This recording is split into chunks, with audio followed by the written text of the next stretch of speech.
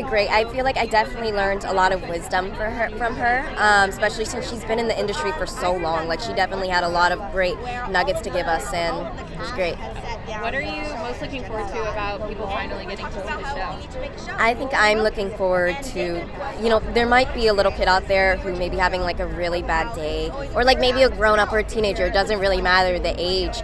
But um, I just hope that if they have a bad day, they can just maybe sit down on their couch with their warm jammies on, maybe get a snack or something, and just hopefully be able to have a laugh and feel like a little kid. What is your favorite part about Billie?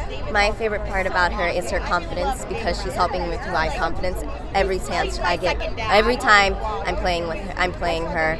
She just, you know, she's like my best friend.